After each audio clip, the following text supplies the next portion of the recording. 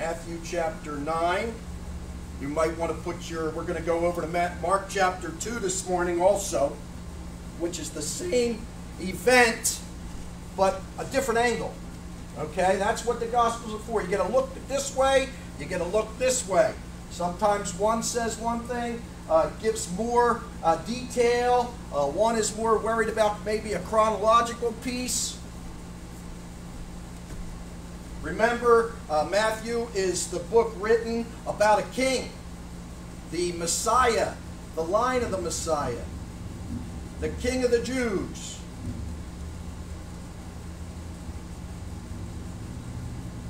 So Mark chapter 9, and uh, let's let's read the, the, the, passage first. It says in Mark chapter, um, excuse me, Matthew, excuse me, Matthew, Matthew, Matthew, Matthew. We're in the book of Matthew. Matthew chapter 9. Verse number 1. And he entered into a ship and passed over and came into his own city. And behold, they brought to him a man sick of the palsy, lying on a bed. And Jesus, seeing their faith, said unto the sick of the palsies, Son, be of good cheer, of thy sins be forgiven thee. And behold, certain of the scribes said within themselves, uh, This man blasphemeth. And Jesus, knowing their thoughts, said, Wherefore think ye evil in your hearts? For whether is easier to say, Thy sins be forgiven thee, or to say, Arise and walk, but that ye may know that the Son of Man hath power on earth to forgive sins. Then saith he to the sick of the palsy, Arise, take up thy bed, and go into thine house he arose and departed to his house. But when the multitude saw it, they marveled and glorified God, which had given such power unto men. Father, bless thy word this morning in Jesus' name. Amen. Amen. So uh, here's a here's a man that uh, will be dealing with the sick of the palsy and his brothers. And you'll notice it says he and he entered into a ship and he passed over came to the other side or, or to, a, uh, to this area, his own city, which is uh, Capernaum. That's his own city. Uh, he was in Nazareth, which Nazareth uh, he started out in. That's where he wanted to be, but they didn't accept him. See, a prophet isn't accepted in his own, his own by his own people. You know, uh, uh, just according to myself, I, I, grew up in Philadelphia. I couldn't go back there to preach and start a ministry. I had caused so much havoc there uh, that uh, and my testimony's dead. So uh, I'm here. Uh, I could probably go back and talk to some people or whatever, but uh, God called me here. So well, I'm here. And um, so he goes back into his area. You know, you have a you have a heart for your own people. I know for myself when I started uh, uh, preaching and pastoring, I started sending out uh, messages to people to apologize to them, to tell them I was sorry for the way I treated people years ago. And uh, it actually worked. People had contacted me back. I was able to lead some people to Christ from my hometown. Uh, and uh, also, I preached a funeral down there once uh, for an old um, an old master sergeant that was one of my best friends when I was in the service and um, he had no preacher there, so they asked me to preach. Uh, when they found out I was, you know, uh, a preacher, they had me preach, which is what I prayed for, because I had never given them the gospel as their commander, and I was able to give the gospel out, and three of my soldiers that were years ago got saved. So, uh, you know, uh, the Lord gave. The Lord sometimes likes to. Uh, he likes to give some good blessings, and that was a great blessing for me. Amen. Amen. So uh, he says, and behold, they brought him. Uh, they behold, they brought to him. Uh, you notice how they're coming to him. Uh, Jesus sets up. See, people have this tendency to think that because Jesus hung around with sinners and he hung around with uh, uh, not exactly the greatest people all the time, people think like he went down to their areas. No, he he he went somewhere. He's he went like the Sermon on the Mount. He set himself up on the mount, and they came to him. He says, Come unto me. That See, he doesn't get anything if he was just to run down there and go unto him. But you got to understand something. The beautifulness of God is he doesn't have to, and he does. He, he always says, if you come part of the way, I'm going to come more. Believe me, how far you come, God comes millions of miles further. Uh, he has more. He, he has more thought to you than you have of yourself. And uh, you'll notice some things here. He, he, it, they brought it. To, they brought him to uh, to Jesus, and it says, "In Jesus seeing their faith." And most of this, it says it says they brought him a man sick of the palsy, but he saw their faith. So there must have been more than one, and it was a, something that he saw in the room or in the air that changed him. That changed Jesus Christ right there uh, because he said he seen their faith. He saw, seeing their faith, said unto the sick the, of the palsy, a Son, be of good cheer. Thy sins be forgiven thee. So Jesus responds. See, he sees their faith and he responds to faith. That's how God responds. He responds to faith at times and, and, and reveals things. And um, this is uh, this is salvation uh, is more important. You have to understand something. He didn't heal him yet. Look what it says. He forgave his what? Sins. He, he didn't get up and walk right there. He didn't heal him. Forgiveness of sins doesn't mean that your body gets better. Forgiveness of sins is something spiritual. And it's on the inside and, and just goes away. But the outside's still the same. Amen? Uh, the same thing with uh, you. Uh, you got saved, but you sure uh, had the you sure had some things you did in the past that still come rolling up after you. Amen? Amen? There's some you have to understand something. Your character has to be worked with after that you got saved, but you still have same tendencies. You still have the same. Uh, you're still the. You still have those same fleshly things that uh, you keep dragging along. We call it baggage, and and let's face it, people. Uh, we're a people of baggage. I'm not talking physical. I'm talking mental, spiritual things like that. You know, you keep carrying them away. The problem that you have is that Jesus is trying after that to sanctify you to kick that baggage away and you put the thing on rollers and gets makes it easier to bring it. You should make your baggage a little harder to bring. But what, what I said is you, you like to you like to grab all your stuff and you say, well, you know, it's hard to move this stuff and uh, and, and, roll it down the way. I can't get it on the plane, can't get it. And then what happens? That atomic muscle uh, spirit that you have of man just turns around and says, give me that stuff. And, and you grab a tote uh, one of those tote things on wheels. You put all the stuff on there, and then you made it easier. And you walk down the road and bring it to the next person, and you dump it on them. Amen. Yeah. Amen. So, uh, but they, he saw them, and he says, "Be of good cheer." Now, I want to show you some other things that happened here. Let's go over to Mark chapter uh, two. Mark chapter 2. Sometimes it's good to have bookmarks so you can put it in Matthew and then go over to Mark so you don't have to keep just your finger in there.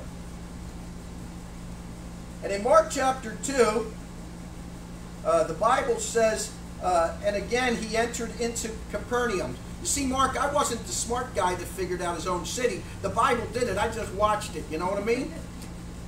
It's that easy. It's his own city, is Capernaum. That's where the synagogue was. And it says he entered into this Capernaum after some days, and it was noise that he was in the house. You think maybe that's where they got that saying? Jesus is in the house? Amen? And straightway, many were gathered. Straightway, they came to him. I mean, they didn't even go another way. Didn't uh, uh, they didn't go a rabbit trail? It says straightway. They had a purpose to see him. They had a purpose here. And straightway many were gathered together, insomuch that there was no room to receive them. No, not so much. As, uh, as about the door, and he preached the word unto them. Uh, Jesus shows up. I mean, how do you how do you hide a man who's walking down the road and, and people are getting healed? I mean, think about this, people. Jesus comes into town. There's no need for health insurance. Just run to him. I mean, if a guy came into town and there was and he started healing, I bet you the first person that had cancer that got healed started telling everybody. I guarantee you that hospital would empty out, and there'd be people running over to Jesus. And that's what's happening. You can't hide a man like that. And it says that they couldn't even get in the house anymore. There was people probably outside waiting to get in. Hey, look, I got to tell you something. If my child was sick, I'm getting in there. That's my place in there. Why? Because she's important to me. She's important to me. If, if my wife, something's wrong, I'm getting in there. I'll carry her in there. I, I don't care. I just need Jesus. And the people were at the door. Now watch 3. Verse 3 in Mark chapter 2, it says, And they come unto him, bringing one sick of the palsy, which was borne of four. Now there's five guys there. He's on a bed. One guy on each corner. Amen? Amen. One man's on each corner of this uh, bed. You don't know how that bed is. We don't know what kind of bed it is. I would assume uh, he's on like a mattress or something like that. Not not the fluffy stuff, but something like you know they used to use back then, uh, weaved out, and, and they're all carrying him in. That's the bed he sleeps on at night. Amen. Easy that way. He was borne of four. It says, and when they could not come nigh unto him for the press, that crowd that's there, they're thronging they uncovered the what? Roof. Roof. Where he was. Watch. And when they had broken it up, they let down the bed wherein the sick of the palsy lay. And then the owner came in and saw his roof torn apart. and he starts screaming, What did you do to my house? You notice how that's not in there? Yeah. You know why? Because Jesus is more worried about people than he is buildings. Yeah, that's right. Now you'll notice some, something else here. His brothers didn't care. Hey, do you have a permit to, ju to justify what you're doing? I don't care. When they drove, when they brought Jesus in, when Jesus came in on the donkey with the two the two donkeys, the mother and the uh, mother and the colt, and he comes into town and they're just bringing him in. People are breaking off trees, having a parade and everything else. Where's their permit? Hey, let me tell if you would have done that somewhere in a city or something, they'd have come out, the leaders of the town, they'd have, they'd have come out, where's your permit? They were climbing trees and breaking, whose trees are that? They're just breaking branches off of trees. You have to understand something. They don't care. When it comes to the worship of the Lord and the lifting Him up, sometimes you got to not care. Sometimes you're in a store and there's people there and you're walking down the aisle. And then all of a sudden you, you hear from two, two uh, aisles down, Let the words of my mouth and the meditation of my heart be acceptable in thy sight, O Lord. You know why you hear that person singing? Because that person doesn't care what anybody else has to say. If they're going to worship God, they'll do it wherever and whenever. That's the difference. These guys that are there, they got a purpose. Nothing's going to stop them. Even a roof ain't going to stop them. The crowd didn't stop them. I want to, I want to get to Jesus. And they start breaking up the roof. Now look what it look what it says. They break up the roof, and it says, and when uh, when they had broken it up, they let down the bed. Verse verse four wherein the sick of the palsy lay. Now look, when Jesus saw what? Their faith, a, a people, he's looking up at the roof and the bed is coming down. He can't see the faith of the guy on the bed. He can only see the bed. What Jesus sees is their faith. What's that? Those brothers that are up there. They got a look on their face that they don't care. They're putting that brother of theirs down. Jesus is here, and we want our family all ready. Boy, oh boy, could we like to see that stuff today. People who, who would, uh, well, I got to get my, my son. He's got, he's got Down syndrome. Well, where are you going? I'm going down to local church house. I hear there's a preacher down there that makes a call for salvation. My son needs to get saved. Boy, would there be something great if somebody just bring their kids in here and hear the gospel and get saved.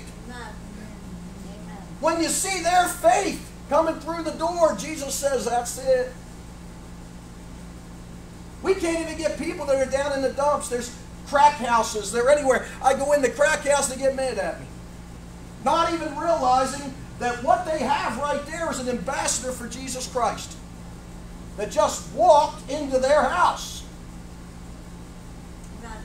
That's the evil world we live in today. Go back to Matthew.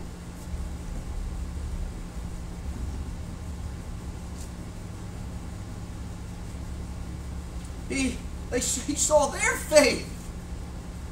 Imagine, you think it's always about the faith of the person that's being healed. Hey, look, could you imagine you go to Benny Hinn or whoever those weirdos are? They want to touch everybody, make signs, all this other stuff that isn't, that God's like, that ain't going to do much in the end. That, you're just going to look for more magic tricks.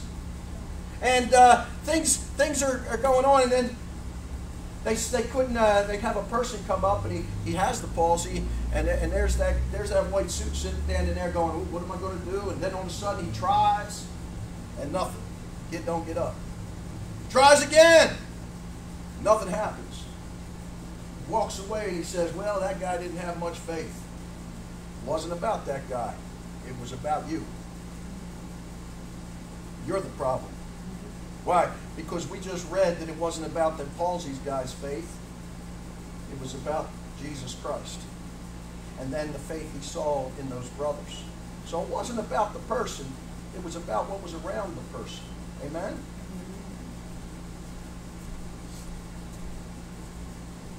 You know, there was a lady at the well. Jesus just impressed her. And she got saved looking for the Messiah. She ran into town and you know what she said? Come see a man. No elaborate, no wages of sin is death. The gift of God is eternal life through Jesus Christ. There was no preaching that she had to really do. Just come see a man. Just come see a man. Please, just come see. Look, I'm, a man, but I'm not the, the one you need to go to see. I'm just a guy in the way. Sometimes we need to be in the way. See, you think of in the way means I just need to get out of the way. Sometimes you need to be in the way. Why? Because you're getting in the way between them and the world. Chapter 9, 9 back in Matthew. He wasn't healed yet. It says, verse number uh, 3, it says, Behold, a certain scribes within themselves, this man blasphemeth. This man blasphemeth. And, and it says, And Jesus, knowing their thoughts, uh, said, Wherefore think ye evil in your hearts? He sees faith and he, and, and he sees evil in other people's hearts. And that's what he's looking at in the room. You got a few people who got who just took a uh, went outside and grabbed a handful of gravel and just stuck it in their mouth and said, "Let me let, let me now go back in." Same thing today, huh?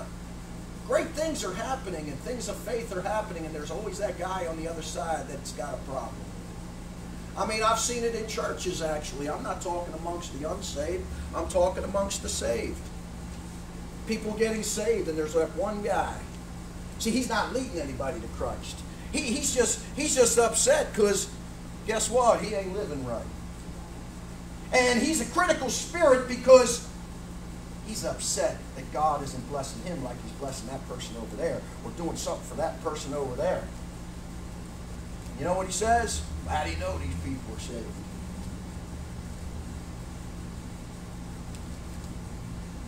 How do you know these people are saved?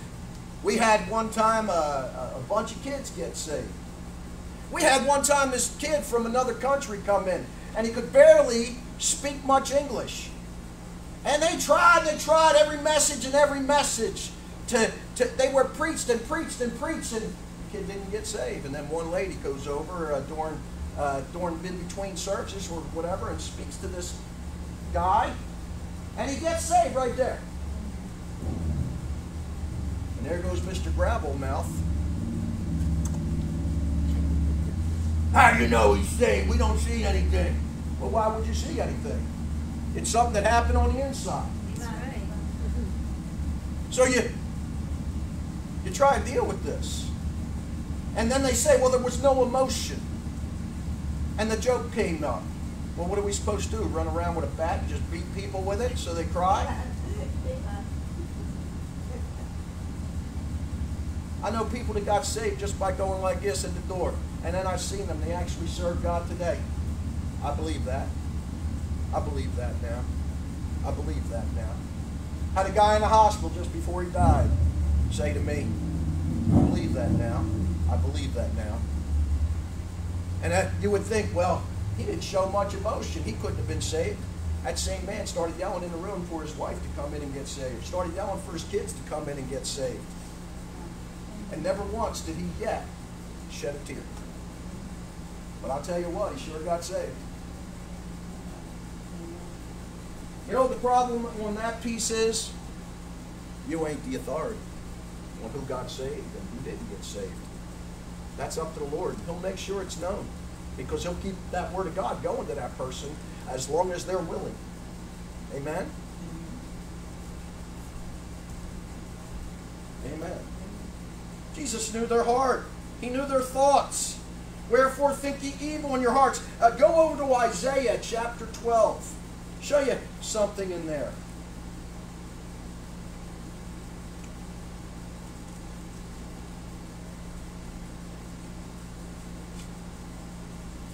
I brought this up in Isaiah. Isaiah chapter 12.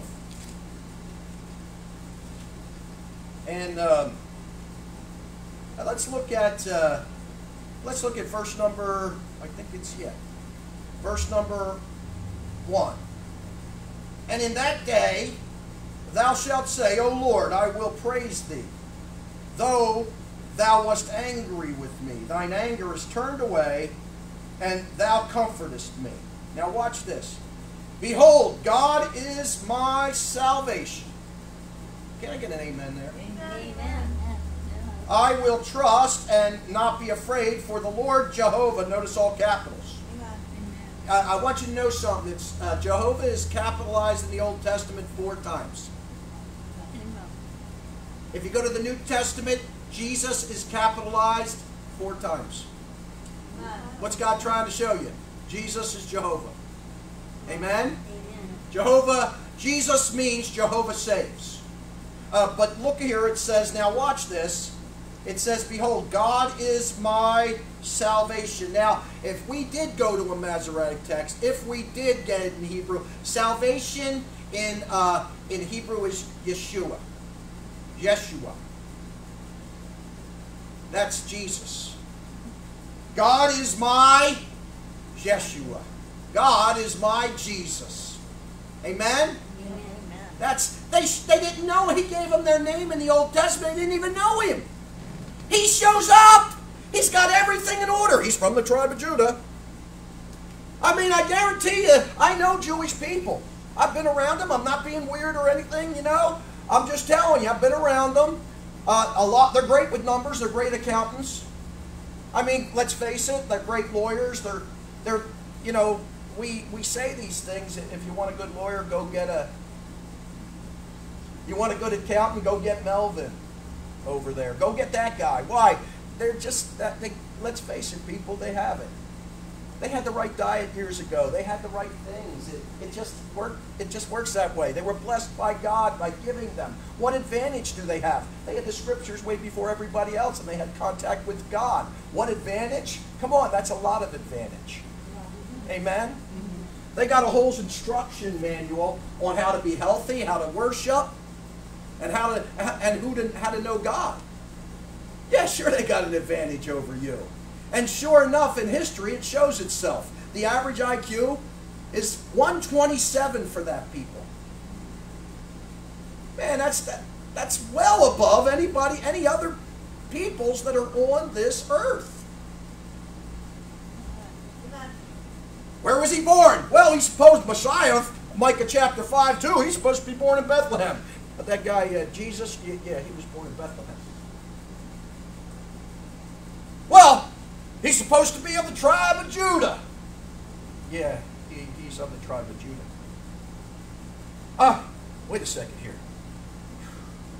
Oh, what, what, what, what's it? We got to get something else. Uh, uh, oh, I got it. No prophet comes out of Galilee. You know what they didn't do?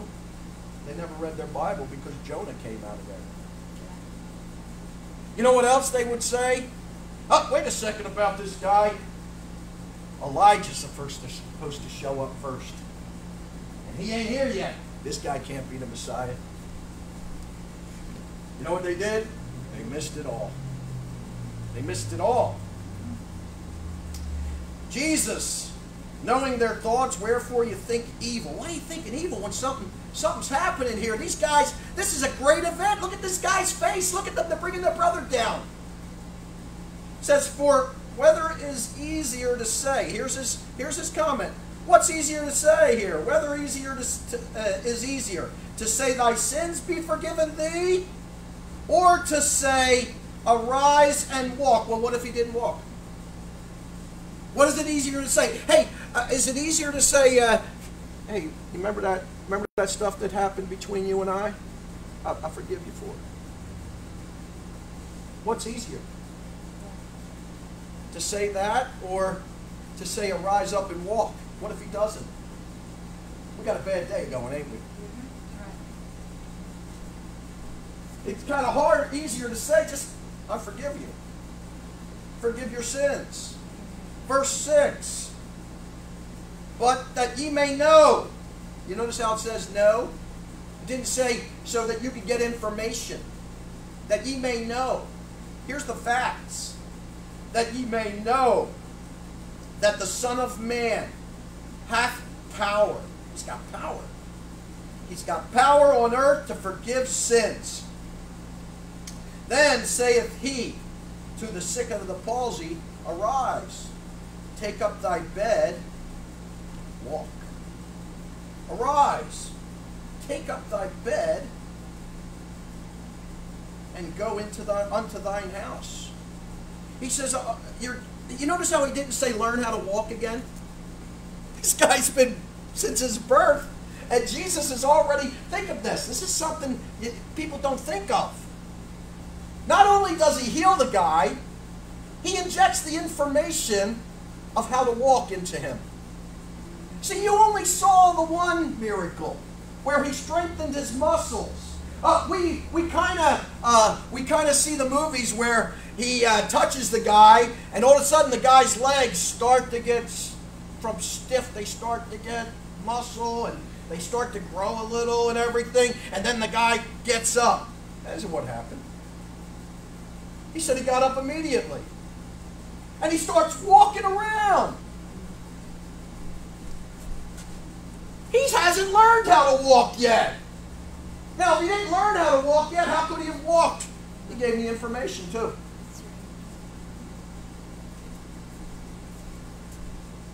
I mean, you don't have a, a, baby, and as soon as the muscles are okay, you don't turn around, let it go, let the baby.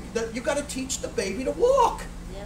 Hold its hands, and you do the old thing. Hey, look, uh, never let that one. I'll tell you what. If some baby was, if, if, if my if my baby would have been uh, ready to walk at a young age or something like that, and she could have walked before I did it, let me tell you something. She'd be restricted. I'd be like making her do it. Why? Because I wanted to. I want to do it. need to learn how to walk. You need to learn how to walk as a Christian, don't you? You didn't. You didn't uh, get saved, and all of a sudden uh, you think you did. You're out there trying to tell there's some other person he's witnessing to, and there you are sitting there. Oh, I know, I know how to get saved. You don't know a thing, and you're sitting there trying to explain something you don't even know yet. Because you didn't learn. Because that's man. But Jesus, he is more. He's man, but he's more than man. But you'll notice something in there. Looking in verse number six, Jesus says, But that ye may know that the Son of Man. You notice he uses that more than anything. He always uses Son of Man. Yeah.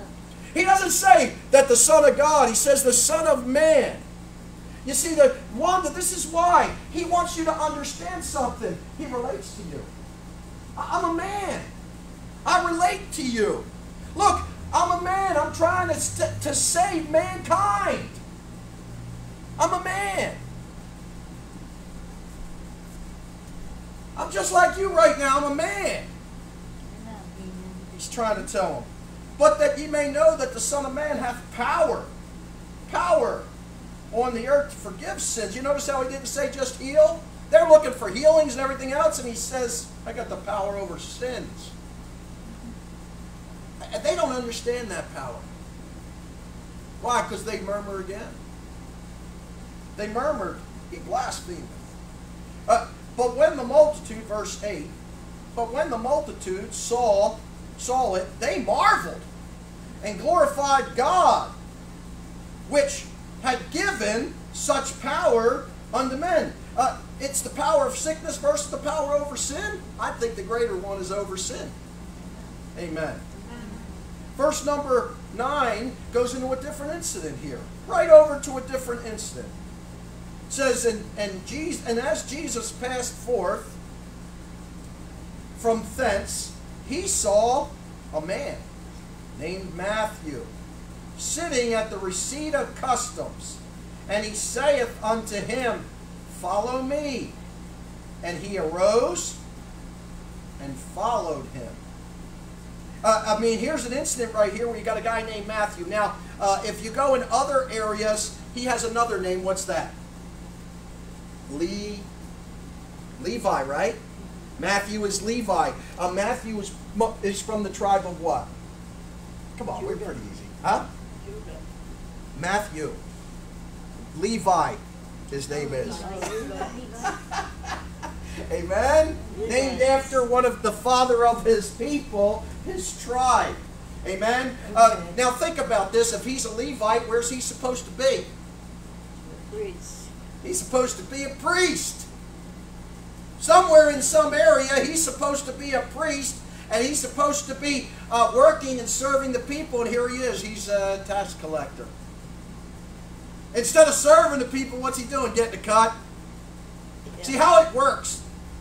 How it worked back then is they paid up front, and then they went and collected money, and whatever they collected over the amount, that's theirs.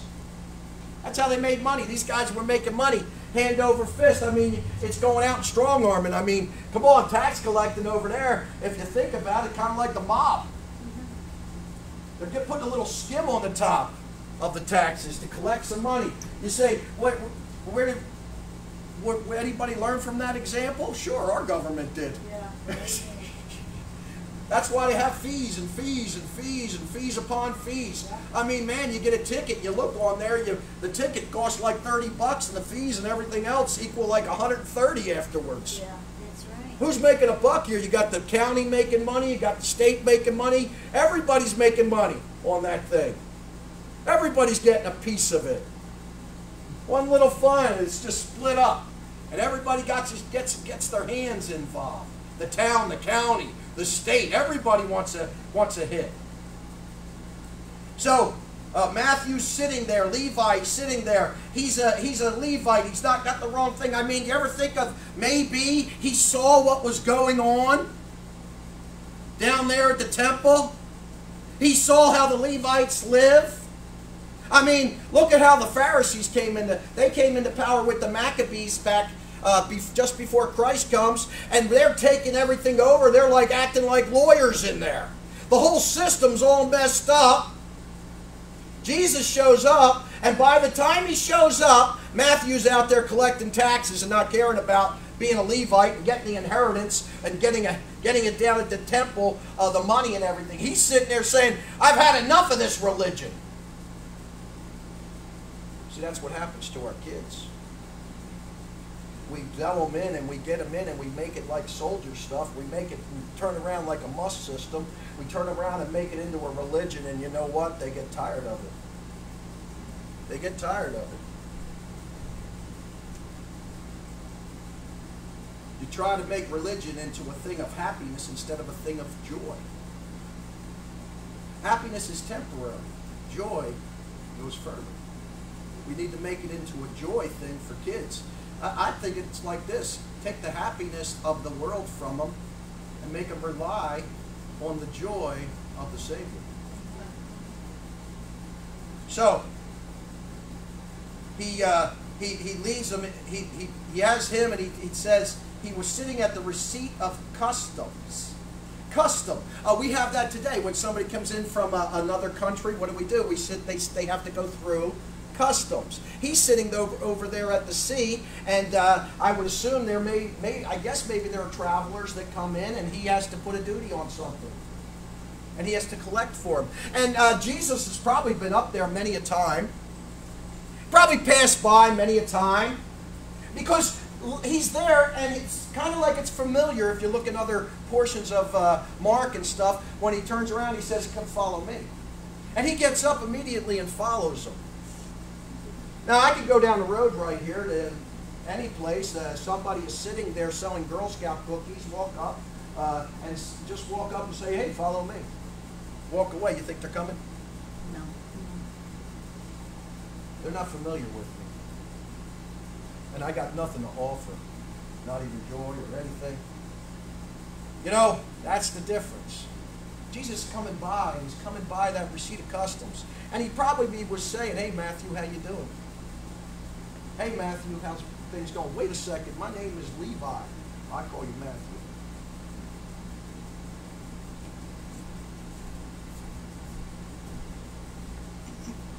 He passed forth, uh, and man, he was named Matthew. He sit at the receipt of customs. He saith unto him, Follow me.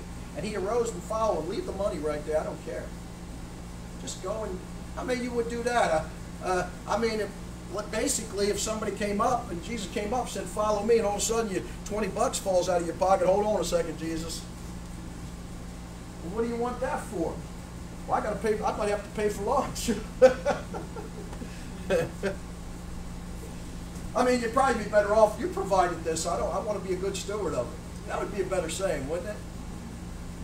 But uh, verse number ten, and it came to pass as Jesus sat at meat in the house, behold, many publicans and sinners came and sat down with him and, and his disciples.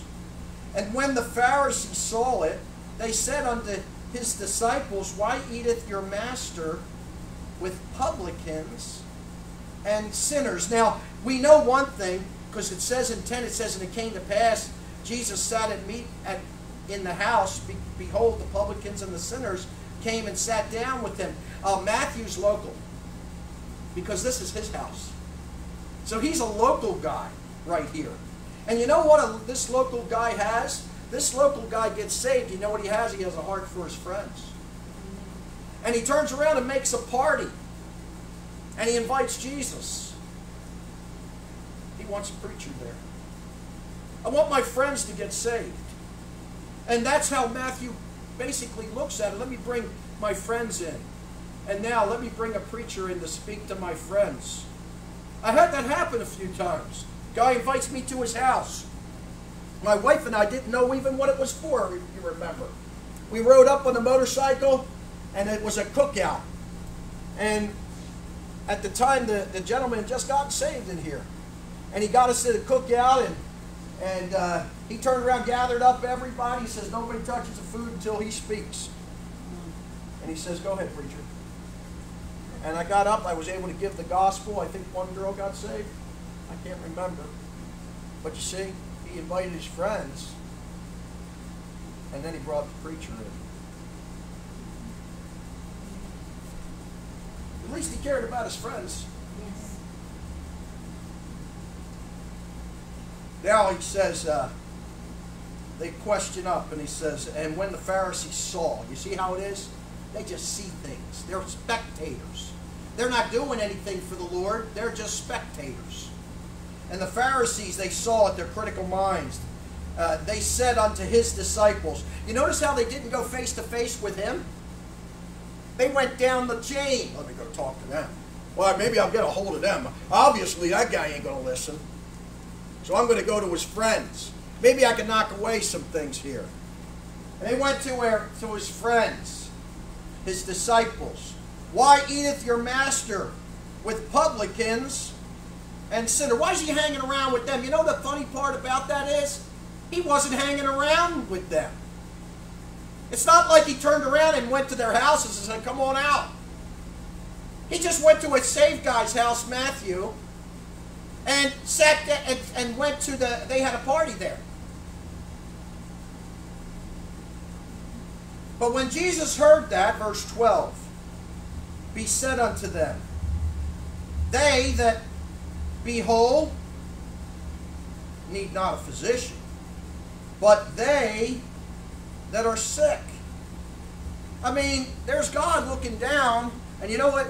You think he sees this, and you think he sees that, and, and God sees two different people. He sees one lost, and he sees one saved. That's how God sees it when he looks down. He's not in yet, he just looks down. I mean, there's two thieves on the cross, and one's saved, one's not. You don't know which one is, but God knows. Amen. Amen. That's how God sees. You got what? You got a whole bunch of thieves down here, and God looks and he goes, "Well, one thief is saved, one thief, one thief is not." You say, "Well, is you think God looks at me like a thief?" Maybe you should. How many here have ever ever thanked God for the air they breathe?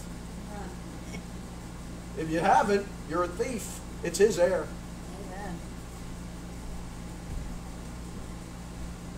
You bring it in, you change it, and put it out. You've even altered what God had. Maybe you should thank Him for your for the air you breathe. Amen. Amen. Them that are whole need not a physician, but they that are sick. But go ye, go ye and learn what that meaneth. I will have mercy and not sacrifice, for I am not come to call the righteous, but sinners to repentance. I'm not looking for works, people. That's what God's saying. I'm not looking for works. You know what? You're trying to impress me. Oh yeah, God, look at me. Look at what I'm doing. Look at this. Look at that good. Look at I. Uh, remember Elijah? I'm the only one out there. I'm the only one in there. What's God saying? I got seven thousand more out there. I'm not looking for your works. You know why? Because when I start, you, you're saying it for like you're trying to impress me. You act like I owe you something. Why? I owe you to be impressed. Look, you can do that to me and you can do that to others, but don't do that to the Lord. He never says, Oh, ye of great works. Oh, ye. He looks for faith. Says, learn. Learn what that meaneth. That, that, that those who need a physician, those who are not whole, they need the physician. Those that are sick. What's the sickness? The sin. They know they can't get over. I'm a publican. I'm a sinner. I already know it. When they're talking it, it's. I mean, look. I, I told. I, I bring it up. People in prison, they get saved more than people that get that are out here. Why they get? They know they got caught. I went over to Mark. You know what he says? He says I was a. I, I, I was a burglar. I was a thief. I got caught. I'm in here 20 years. Why? Because I got caught being a burglar. You know what? The best thing about that is he understood he was a thief.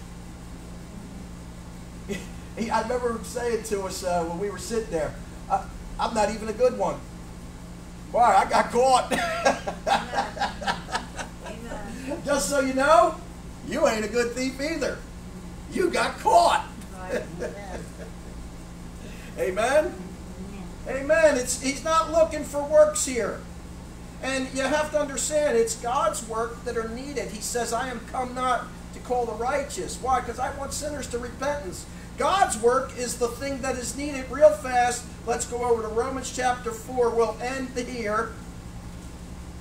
Romans chapter 4. Uh, you're all pretty uh, familiar with this passage. It's in 1 to 4.